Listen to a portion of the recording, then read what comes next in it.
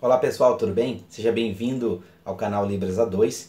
Nós estaremos agora é, trabalhando sobre hinos da harpa cristã. É, é um compilado de hinos considerado históricos, né? usado muito em igrejas evangélicas. Tem algumas que usam o cantor cristão, mas nesses vídeos a gente irá trabalhar hinos da harpa cristã, ok? Então, nós vamos trabalhar o primeiro hino da harpa, que o tema é chuvas de graça, né? Então, a gente vai trabalhar é, estrofe por estrofe. E depois a gente também vai trabalhar o coro, né? Que o coro sempre é um pouco mais repetitivo. Então, olha só, o hino primeiro da harpa cristã, chuva de graça, a gente precisa estar tá entendendo qual que é o conceito de chuva, qual que é o conceito de graça. Na Bíblia Sagrada, graça é um favor que o ser humano ele não merece, mas ele recebe de uma forma gratuita. Na língua de sinais, o sinal de graça, no contexto religioso, é esse sinal assim, ó. Você faz o formato da mão assim, e esse é o sinal de graça, ok? Que é um favor que você não merece, mas recebe da parte de Deus. Ou seja, é uma bênção, é algo que vem da parte de Deus que o ser humano não merece.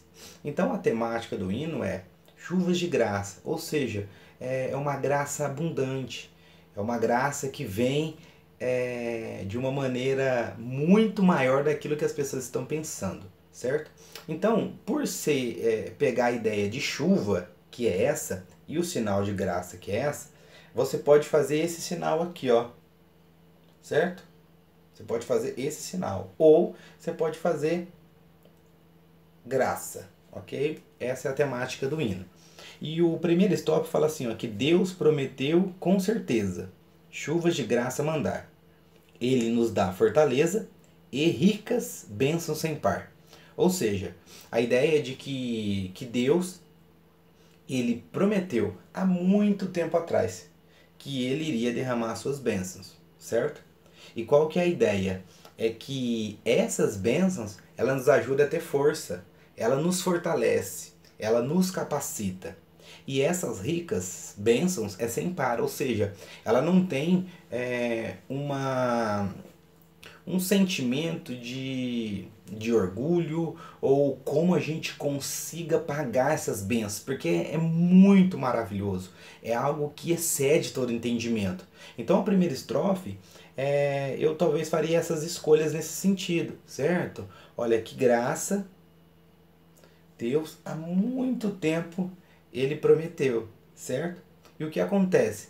E nós recebendo essa graça, nós vamos ter força, nós seremos fortalecidos por essas ricas bênçãos sem par. Essas ricas bênçãos, essas bênçãos maravilhosas, ok? E aí a gente entra no coro que é chuvas de graça, Chuvas pedimos, Senhor. Manda-nos chuvas constantes, chuvas do Consolador.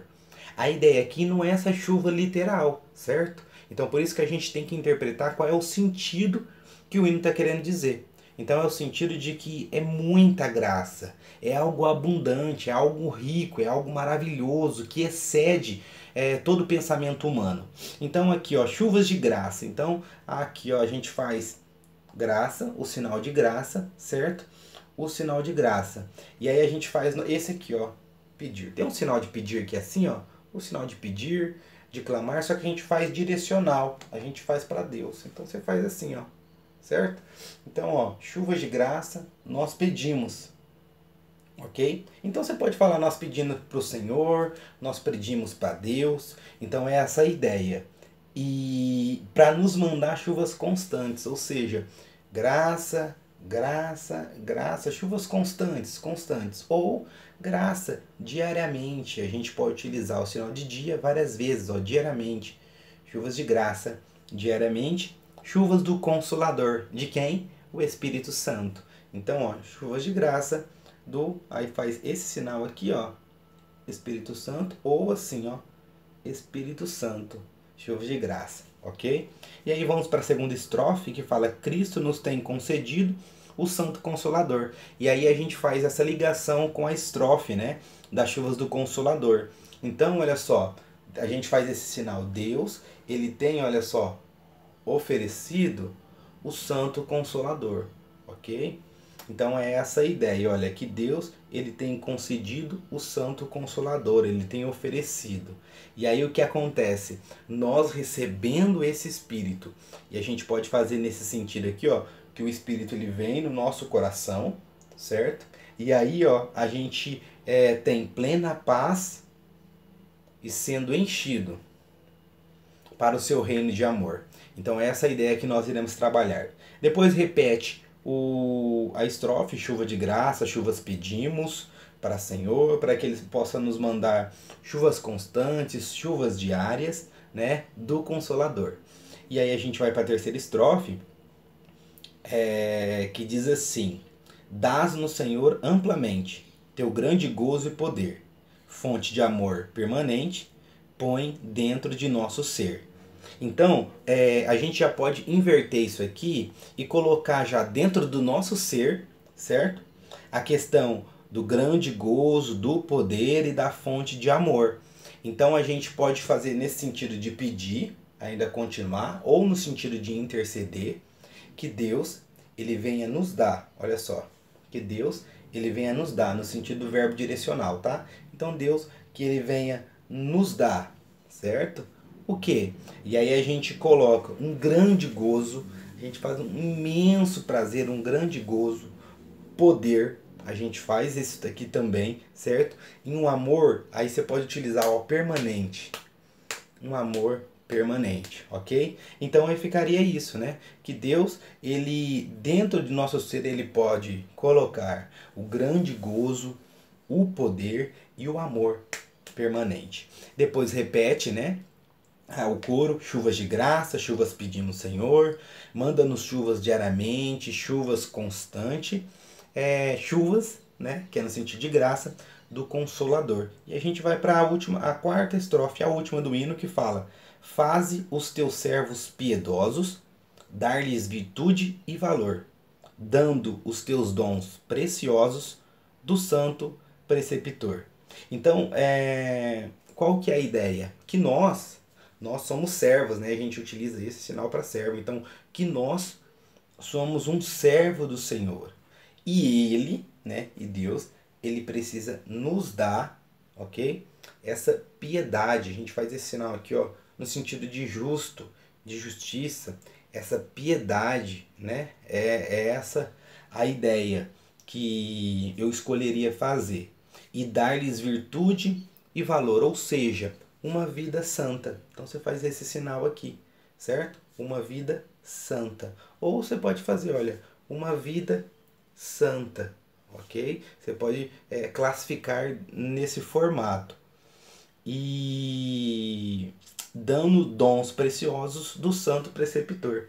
Ou seja, é, é que Deus ele vai estar tá oferecendo os seus dons e aí você faz assim, ó, diversos, ok? Ou seja, né, é, dando os teus dons preciosos do santo preceptor, é de quem dá, é de quem oferece, é que vem de Deus.